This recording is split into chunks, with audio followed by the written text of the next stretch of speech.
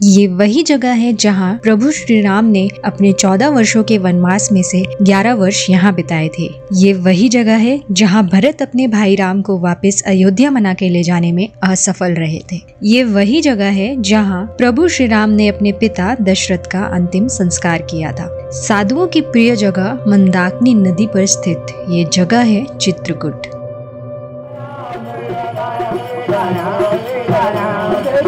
सीताराम सीताराम सीताराम सीताराम सीताराम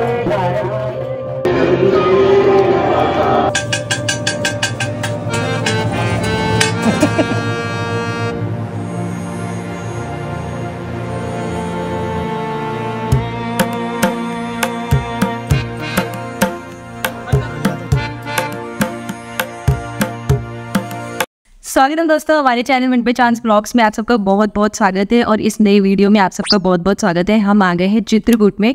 तो हम चले थे मुंबई से। मुंबई से हम दो दिनों में चित्रकूट पहुँचे। सबसे पहले हम रुके थे नागपुर में। आपको वो सारी जर्नी हमने हमारे पिछले वीडियोज़ में दिखाई है। तो अभी हम आज ही चित्रकूट पहुँचे हैं। यहाँ से एक किलोमीटर की दूरी पर रामघाट है। तो वहाँ की जो शाम की आरती है, हम वो देखेंगे और शाम का नज़ारा देखेंगे घाट का। ये फ़ेमस घाट है यहाँ पे। एंड यहाँ से हम अभी अपनी गाड़ी से नहीं ई रिक्शा करके वहाँ पे जा रहे हैं तो वो प्राइसेस भी देखते हैं। और ये इस तरह का रूम है, ये है श्रीजी भवन जो हमने रूम लिया है, ये हमें पड़ा है per day two thousand rupees में, काफ़ी बड़ा रूम है। आपको मोस्टली इस रेंज में इसी तरह के यहाँ पे रूम्स मिलेंगे। एंड यहाँ रूम हमने इसलिए भी लिया है क्योंकि यहाँ पे पार्किंग है ना, बहुत सेफ़ है। यहाँ पे पार्किंग आपको मोस्टली जगहों पे रोड्स पे ही मिलती है तो हमें अंदर पार्किंग सेफ़ चाहिए थी तो इसलिए हमने ये जगह ली। अभी मैं पार्किंग दिखाती हूँ। काफ़ी बड़ी पार्किंग है यहाँ।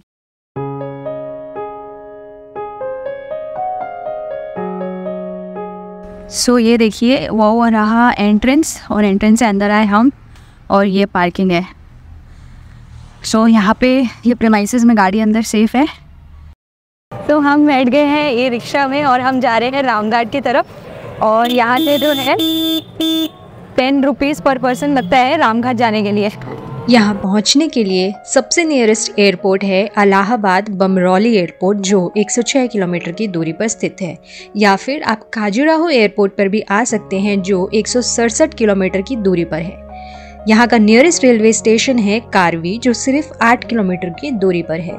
राम घाट वे घाट है जहाँ प्रभु राम नित्य रूप से स्नान किया करते थे। ये वही प्रसिद्ध घाट है जिसके बारे में कहा गया है चित्रकूट की घाट पर भई संतन की भीड़। तुलसीदास चंदन घिसे तिलक देत रघुवीर। तो दोस्तों, हम आ गए हैं चित्रकूट पे और जैसे कि आप देख सकते हैं, यहाँ पे इतने सारे रंग बिरंगे नाव हैं और बहुत ही खूबसूरत जगह है ये। और यहीं पे अभी शाम को आरती भी होगी। और जैसे कि आप देख सकते हैं, यहाँ पे पार्किंग की कोई जगह नहीं है तो यहाँ पे गाड़ी लाना मुश्किल है थोड़ा।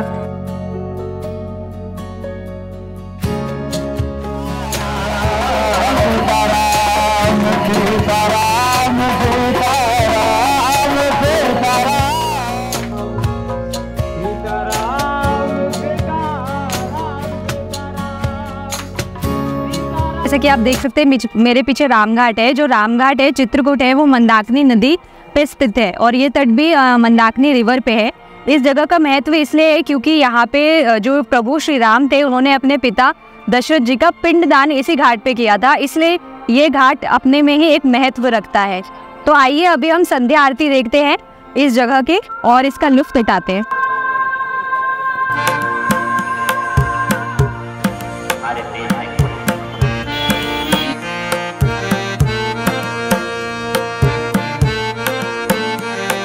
पिता त्वमेव त्वमेव बन्धु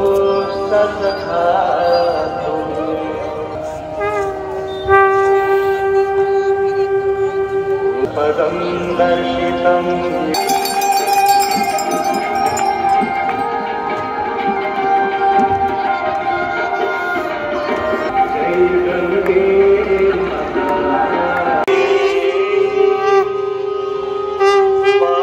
सो फ्रेंड्स हमारी संध्या आरती यहाँ पे, गंगा आरती हो गई है मंदाकिनी नदी की। अब हम यहाँ से निकल रहे हैं। जैसे कि देख सकते हैं, साँझ हो गई है। एनवायरनमेंट बहुत ही खूबसूरत है। बहुत ही मनमोहक है यहाँ का जो भी एम्बियंस है, बहुत अच्छा है। सो आप यहाँ पे शाम को आइए ट्राई करिए और इन्जॉय करिए। और अब हम यहाँ से जा रहे हैं होटल और बाकी की जो जगह है, वो हम सुबह घूमते हैं। और हमारे साथ बने रहिए, सबकी स्टोरीज हम आपके साथ शेयर करेंगे।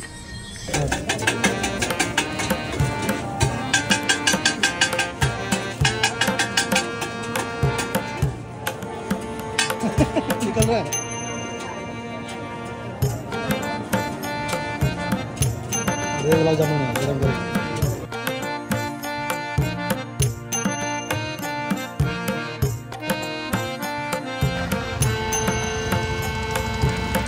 सो so फ्रेंड्स हम लोग चित्रकूट पहुँच गए थे और मुंबई से चित्रकूट का कुल किलोमीटर था 1407 किलोमीटर और हमारी कार ने जो एवरेज दिया है 15.2 का दिया है।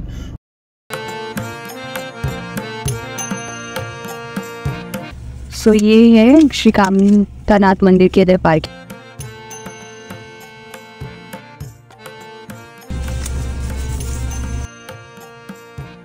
चित्रकूट का सबसे महत्वपूर्ण स्थान है कामदगिरी रामघाट से स्नान करने के बाद अधिकतर लोग कामदगिरी पर्वत के मुख्य दरवाजे पर आते हैं और वहीं से परिक्रमा प्रारंभ करते हैं। चित्रकूट आने वाले श्रद्धालु कामदगिरी पर्वत की पाँच किलोमीटर की परिक्रमा पूरी कर अपनी मनोकामनाएँ पूर्ण होने की कामना करते हैं। इसी पर्वत के तल पर कामतानाथ का मंदिर स्थित है।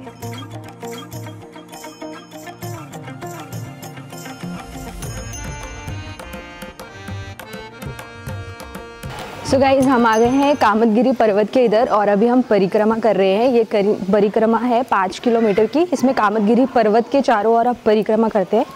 माना जाता है ऐसा करने से आपकी सभी मनोकामनाएँ पूरी होती हैं। तो हम ये परिक्रमा कर रहे हैं और देखते हैं रास्ते में क्या क्या आता है। एंड वैसे तो बहुत छोटे मोटे मंदिर सारे भगवान के देवी देवताओं के आ रहे हैं। सो so, आप ये पर्वत देख रहे हैं। हम इसी के चारों ओर अभी घूम रहे हैं। और इसी तरह आपको पूरी परिक्रमा करनी है। 11 वर्ष के बाद जब प्रभु श्री राम ये जगह छोड़ के जा रहे थे तब चित्रकूट पर्वत दुखी हो गए।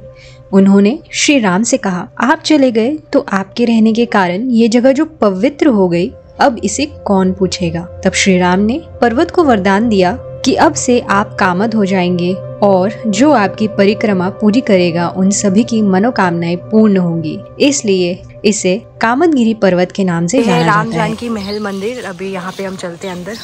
एंड यहाँ पे बहुत ज़्यादा ही बंदर है बहुत ज़्यादा।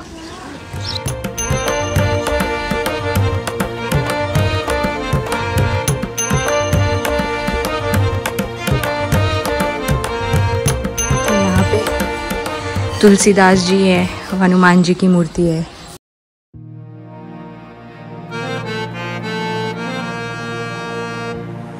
सो so, ये देखिए ये वो जगह है जहाँ पे चरण चिन्ह है। भरत के और राम जी के ये जो पत्थर है इन पे उनके चरण अगर आप ध्यान से देखेंगे तो उसमें कुछ कुछ उनके चिन्ह बने हुए हैं चिन्ह के आकार में उनके पाँव की आकृति बनी हुई है।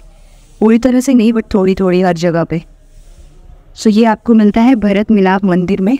तो दोस्तों, हम आ गए हैं भरत मिलाप मंदिर में और ये वही जगह है जहाँ पे जो भरत है, वो अपने भाई श्री राम को मनाने आए थे कि वो वापस अयोध्या लौट चले। और जो उनके बीच में ये वार्तालाप हुई थी, ये वार्तालाप इतनी ज़्यादा भावुक थी कि यहाँ पे बोलते हैं कि जो पर्वत है और जो चट्टाने हैं, वो भी रोने लग गए थे। पत्थरों पर आँसू निकल आए थे, ऐसा कहा जाता है। और यहाँ पे पद्म उनके चरण चिन्ह हैं जिनके दर्शन आप लोग कर सकते हैं। सो ये मंदिर बहुत ही मुख्य मंदिर है यहाँ चित्रकूट में। सो ये देखिए, हम अभी है ना यहाँ भरत मिलाप मंदिर से निकले। और ये देखिए, ये अभी रोपवे से हम जाएँगे ऊपर की तरफ़। ये भी बता दूँ यहाँ पे अगर आप नहीं चल सकते हैं तो यहाँ भी आपको जो है गाड़ियाँ मिल जाती है वो उससे आप परिक्रमा कर सकते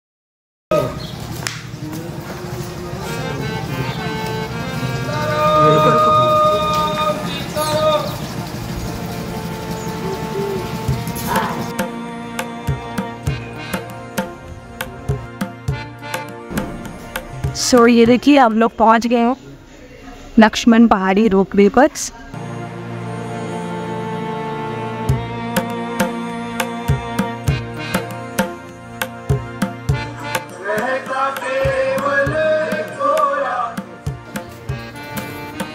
ये इस तरह के आपको जैसे मेट्रो में कार्ड मिलते हैं ना वैसे यहाँ पे ये कार्ड मिला है और फोर्टी रुपीज़ नहीं था seventy five rupees per person है और ये दोनों तरफ़ का है। हाँ इधर इधर। सो so, हम बैठ गए हैं रोप वे में आप देख सकते हैं पता नहीं इसमें और लोग आएँगे कि नहीं और फिर यहाँ से हम पहाड़ के ऊपर जल्दी पहुँच जाएँगे। ऊपर जाने के लिए सीढ़ियाँ भी है जिसमें टाइम लगेगा। अगर आप चलना चाहते हैं तो चल सकते हैं नहीं तो रोप वे ले लीजिए और ये हम बढ़ रहे हैं ऊपर की तरफ़।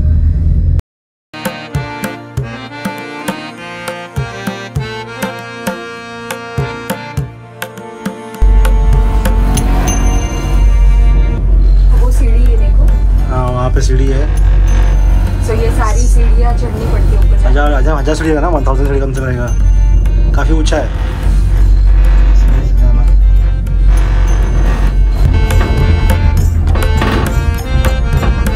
और हम लोग पहुँच गए।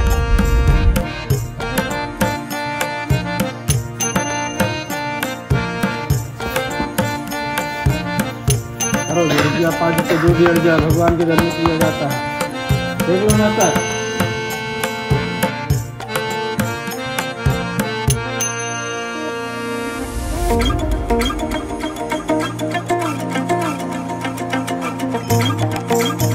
से ऊपर, ये रोपवे से ऊपर आते हैं ना तो आप यहाँ पे इस तरह, ये जो परिसर है यहाँ पे आते हैं, और यहाँ पे छोटे मोटे मंदिर है, मेन मंदिर ये है, लक्ष्मण जी का मंदिर, और ये मनोकामना वाले पत्थर है। बस ये दो तीन चीज़ें ही हैं यहाँ पे देखने के लिए। इसके बाद आपको वापस रिटर्न जाना है। ऐसी प्राचीन मान्यता है कि इस जगह पर प्रतिष्ठापित मूर्ति स्वयं प्रकट हुई थी। ये स्थान कामतगिरी पर्वत से बहकर आने वाले पानी के मार्ग पर स्थित है। इसलिए इस स्थान को बरह के हनुमान जी का मंदिर भी कहा जाता तो है। दोस्तों हम आ रहे हैं ये परिक्रमा कर रहे हैं तो ये है बरहा। हनुमान मंदिर मान्यता है कि यहाँ पे जो हनुमान जी की शिला है वो खुद ही प्रकट हो अ, हम लोगों ने परिक्रमा पूरी कर ली है कामदगिरी पर्वत की। तो वहाँ से परिक्रमा करने में हमें हमने सुबह आठ बजे शुरू किया था और दस बजे हमारी परिक्रमा ख़त्म हो गई। वहाँ से बारह मिनट की दूरी पर हनुमान धारा है। सो so, यहाँ पे अभी हमने सत्तर रुपये पार्किंग चार्जेस दिया हनुमान धारा के लिए। सो so, ये यहाँ पे स्टेयर्स हैं सेवन हंड्रेड स्टेयर्स हैं यहाँ पे ऊपर जाने के लिए। एंड आप ऊपर रोप वे भी देख सकते हैं। सो so गाइज़ हम हनुमान दारा के रोप वे एंट्रेंस पे खड़े हैं जैसा आप देख सकते हैं यहाँ पे टिकट काउंटर है और तीन साल तक फ्री है three to ten one hundred and seven rupees और दस साल से ऊपर वन फोर्टी फाइव रुपीज़ है प्रति व्यक्ति का। और यहाँ से अब हम रोप वे की तरफ़ बढ़ते हैं।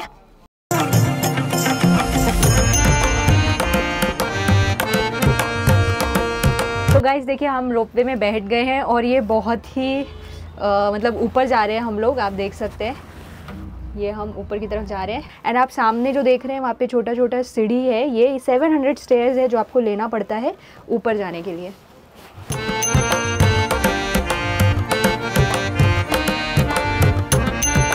सो so, ये अभी हमने जूते चप्पल जमा कर दिए।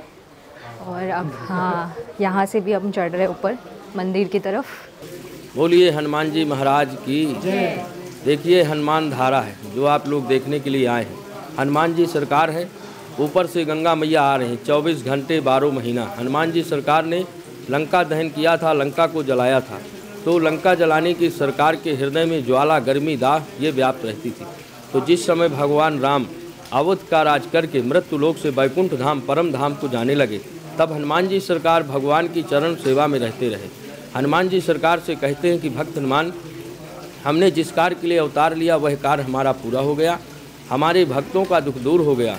अब हम परम धाम वैकुंठ धाम को जा रहे हैं और आपको इसी मृत्यु लोक में रहना है। तब हनुमान जी ने प्रश्न किया कि प्रभु, हमें इस मृत्यु लोक में क्यों रहना पड़ेगा? तब भगवान ने हनुमान जी सरकार को बतलाया, हनुमान जी सरकार से कहते हैं कि आप अजर और अमर हो। आपको मृत्यु लोक में रहना है, माता सीता का आपका आशीर्वाद है, अजर और अमर का। इसलिए आपको कहीं आना जाना नहीं है, आपको मृत्यु लोक में रहना है, भक्तों का कल्याण करना है। इसके निस्बत आप हमसे कुछ मांगिए। तब हनुमान जी सरकार ने हाथ जोड़ के विनती किया, प्रार्थना किया कि भगवान, आप हमारे स्वामी होकर के हमें कुछ देना ही चाहते हैं। तो जब से हमने रावण की लंका को जलाया है, लंका जलाने की हृदय में ज्वाला, गर्मी, दाह, ये हमारे व्याप्त रहती है। तो हमें कोई ऐसा ठंडा, पवित्र, दिव्य स्थान बतलाइए कि जहाँ हम रह सकें और आपका भजन कर सकें। तब भगवान श्री राम हनुमान जी सरकार को श्री अयोध्या धाम से ला करके श्री चित्रकूट धाम शंकरषण गिरी पार्वत ने यहाँ स्थान दिया। बाढ़ से गंगा निकाली। सरस्वती गंगा है, जो 24 घंटे बारह महीना चलती हैं। हनुमान जी के हृदय की लंका जलाने की ज्वाला को शांत करती हैं। न जल का आने का पता है कि गंगा मैया कहाँ से आती है। नीचे जाने का भी पता नहीं कहाँ जाके समाप्त हो जाती है। स्थान में गंगा जी का दर्शन होता है। उसी समय जब स्थान धारा दिया है तो यहाँ भगवान राम ने हनुमान जी सरकार की पाँच चीज़ से पूजा सत्कार किया है। कि भक्त लोग आएँगे पूजा करेंगे भक्तों का कल्याण होगा। आप हनुमान जी सरकार से मनोरथ करें। हनुमान जी सरकार अन्न धन दूध पोत शक्ति भक्ति बल बुद्धि के देने वाले हैं। बाबा को यहाँ ध्वजा लगता है लंगोटा लगता है तेल सिंदूर लगता है आटे का देसी घी का रोट लगता है। यही पूजा का महात्म है। भक्त लोग आते हैं सामान लाते हैं कराते हैं भक्तों का कल्याण होता है। बोलिए हनुमान जी महाराज की सच्चे दरबार की। ये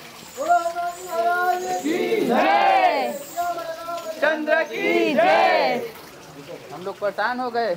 सब जगह वही है सब जगह यही है। अच्छा। बोलेगा अपने मन से चढ़ाओ बोलेगा आपको हज़ार रुपये चढ़ाओ भी बोलेगा। ऐसा टेका देगा भैया जब तक आप नहीं दोगे वो बोलते रहेगा। हाँ वही है।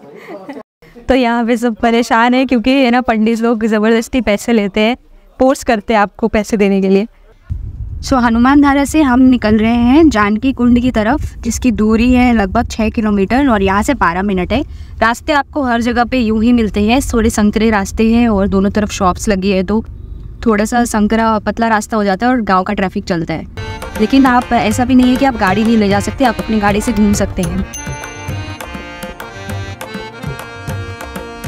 सो so, यहाँ पे ये जानकी कुंड है और ये पार्किंग है रोड पे ही पार्किंग है।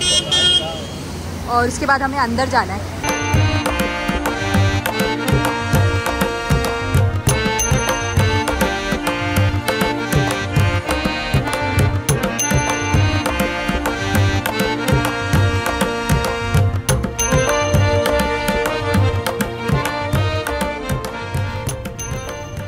हम लोग आ गए हैं स्फटिक शिला के इधर। जानकी कुंड अगर आप जाए तो एक बात का ध्यान रखिए गूगल जो ऑनलाइन मैप दिखाता है ना जानकी कुंड का, वो रॉन्ग लोकेशन दिखाता है।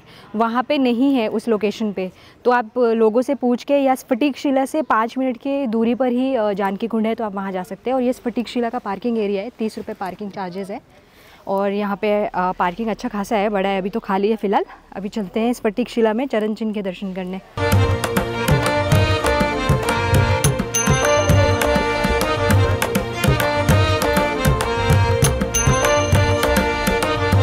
अगर यात्री चित्रकूट आया है, कामतगिरी का दर्शन या परिक्रमा नहीं लगाया, उसका चित्रकूट आना अधूरा है। तीसरा है फटिक शिला जो ऐसा पत्थर सारे चित्रकूट में नहीं इस पत्थर के ऊपर क्यों बैठा जाता है? भगवान क्या किए हैं? दोनों चीज़ में तीन मिनट से बताऊँगा, मेरे यहाँ टाइम नहीं लगता।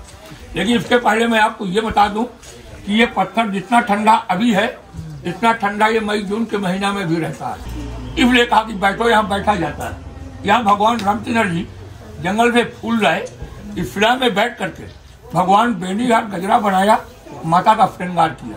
तभी इंद्र का लड़का जयन कौवा का रूप बनाया और भगवान की परीक्षा लेने के लिए माता के पैर में चोट मारा। जब खून बहने लगा, भगवान ने तिनके का बाण मारा, कौवा तीनों लोग में भगा, लेकिन कोई बचाया नहीं। तब भगवान कौवा की एक आँख फोड़ देते हैं आज भी कौवा एक आँख का होता है। देखिए, भगवान का बायां पैर है, दाहिने पैर का घुटना है, दाहिने पैर का अंगूठा जब बेटा घुटना टेक करके भगवान ने कौवा को बाण मारा है, यहाँ राम बैठे, यहाँ माता जानती बैठे, ये माता जानती का पैर इन लाल चिन्हों को बचा करके प्रेम पूर्वक परिक्रमा दुई बार लगा करके जा सकते हैं। एक मिनट। परिक्रमा बेटा दो बार ज़रूरी है। दान करो चाहे।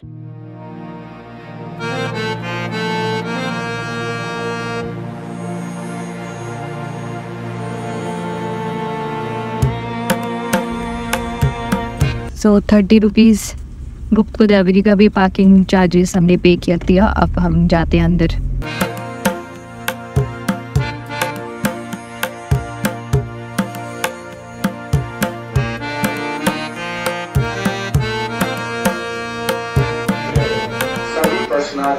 से अनुरोध है कि आप एक शांति रखेंगे इससे घर परिवार में सुख शांति रोज़गार कार्य में सफलता आप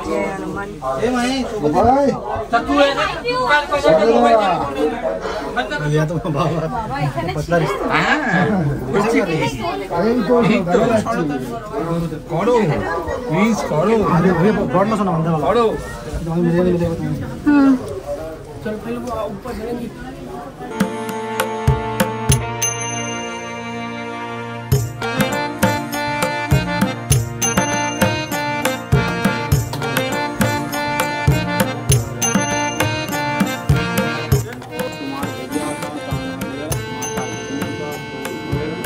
बंदा दक्षिणा देते हैं।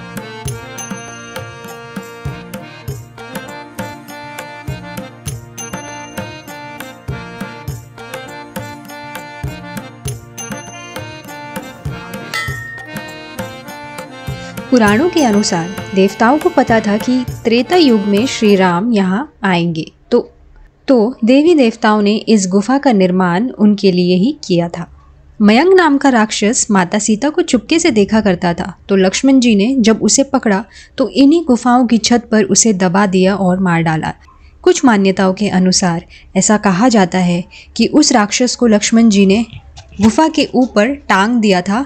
हवा चलने के कारण वो जब हिलता था तो उससे गुफा में खटखट की आवाज़ आती थी। इसलिए इसे खटखट चोर भी कहा जाता है।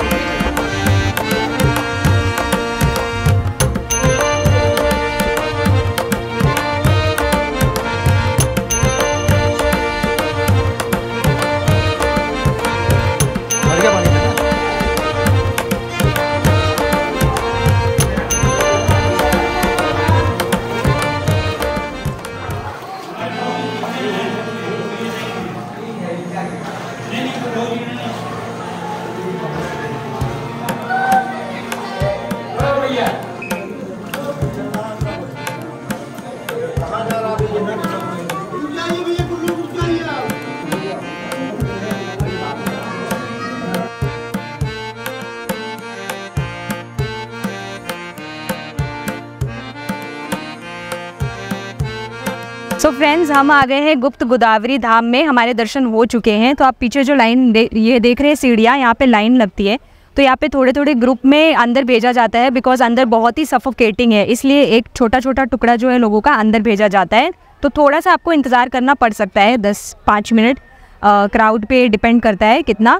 और इस जगह की मान्यता ये है कि यहाँ पे गोदावरी जी जो है प्रभु श्री राम के दर्शन करने आई थी। उन्होंने दर्शन के लिए, जैसा कि आप जानते हैं, गोदावरी नदी जो है नासिक में उत्पन्न होती है तो किसी को पता नहीं है कि वो यहाँ पे कैसे आ गई, क्योंकि उनको राम जी के दर्शन करने थे तो उन्होंने अपने पिताजी से आज्ञा मांगी कि मुझे दर्शन के लिए जाना है तो उनके पिताजी ने मना कर दिया था।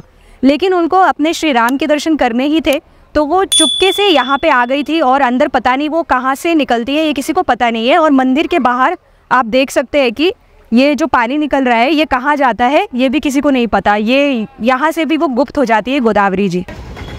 सो so, ये अंदर की तरफ़ जो आप देख रहे हैं ये गुप्त गोदावरी का बड़ा सा पार्किंग एरिया है। लेकिन लोगों को डरा के इधर रोड पे ही पार्किंग में रोड पे ही दुकान के सामने गाड़ी लगाने के लिए बोलते हैं ताकि वो अपने दुकान का सामान बेच सके। तो ऐसा मत करिएगा अंदर पार्किंग है वहाँ पे आप लगा सकते हैं अपनी गाड़ी। सो so, हमारे गुप्त गोदावरी के दर्शन अभी हो गए हैं हम आ गए हैं तो यहाँ से हमारा चित्रकूट का दर्शन जो है वो पूरा हो गया है। अगर आप सती अनुसुईया आश्रम जाना चाहते हैं तो यहीं से अ, कुछ किलोमीटर्स की दूरी पर वो भी है। हम यहाँ से प्रयागराज निकल रहे हैं तो हमें दिन दिन में निकल रहा है इसलिए हम इसलिए हम अभी निकल रहे हैं यहाँ से जो तीन घंटे की दूरी पे है लगभग 130 किलोमीटर। तो चित्रकूट के दर्शन हमारे बहुत बढ़िया से हो गए। बस यहाँ पे आपको ध्यान रखना है कि रास्ते थोड़े से पतले हैं बट आप अपनी गाड़ी से घूम सकते हैं। सिर्फ़ रामघाट में ही पार्किंग की जगह नहीं है, बाकी हर जगह पार्किंग की सुविधा उपलब्ध है। और यहाँ चित्रकूट में हर मंदिर में जो है चेंज रख लीजिएगा बिकॉज़ यहाँ पे हर जगह पंडित फोर्स करते हैं पैसा देने के लिए, ज़बरदस्ती पैसा लेते हैं। तो अगर आपको देना है तो आप चेंज रखिए और हर जगह इसी तरह पैसे दे सकते हैं। चित्रकूट से प्रयागराज की दूरी लगभग 128 किलोमीटर यानी तीन घंटे है।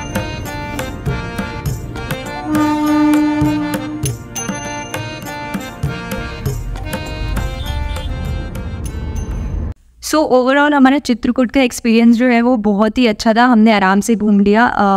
वहाँ पे एक ही दिन में हमने जितनी भी जगह दिखाई आपको, वो सारी जगह आप एक दिन में कवर कर सकते हैं। एक दिन इनफ है मोर देन इनफ है इन जगहों को घूमने के लिए और अपनी गाड़ी से भी आप आराम से घूम सकते हैं। रहने और खाने की सुविधा वहाँ पे हर बजट में उपलब्ध है। सो so, ये देखिए हम लोग अभी आ गए हैं प्रयागराज में और ये है होटल आदर्श। इसके बारे में हम आपको बताते हैं कल। और जो हमारा सफ़र था तीन घंटे का रोड्स अच्छे ही हैं बस जो बीच बीच में गाँव और शहर आते रहते हैं तो थोड़ा सा संकरे रास्ते हैं और गाँव का शहर का थोड़ा बहुत ट्रैफ़िक रहता है कंजेस्टेड रोड्स है बस इतना ही प्रॉब्लम है।